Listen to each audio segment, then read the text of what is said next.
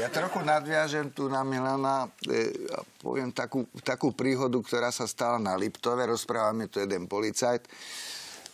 Na Liptove máme chatu a rozprával, že e, teda zastavili niekde na Liptove policajti auto, lebo mal rozbitý pravý reflektor aj blinker. Keď, prišli bližšie, keď prišlo bližšie to auto, tak ešte aj masku malo značne poškodený, blátnik malo poškodený.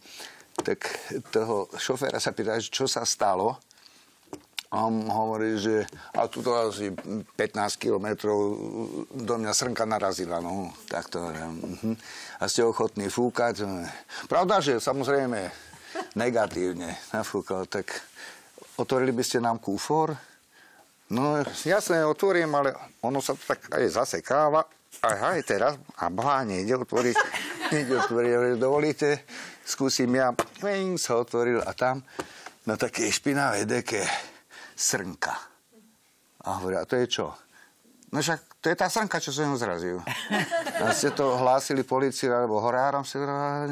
No, nehlásil. No tak to ste sa dopustili e, trestného činu pytliactva. No počkajte, a to bolo tak, že ona do mňa narazila, ja som vyšiel von, pozerám, srnka ešte žila. Tak som ju naložil a veziem ju do Mikuláša k veterinárovi, možno jej nejako pomôže. No to... Vraj, jeden pytliak zastrelil jeleňa, si ho prehodil cez plece a išiel domov a stretol ho horár a hovorí mu, čo tu robíte? No len som sa tak bol prejsť po, po lese. Vy ste pytliak? Kde ja, pytliak? Nie? A čo to máte na pleci? A on hovorí, ježišmarja, jeleň.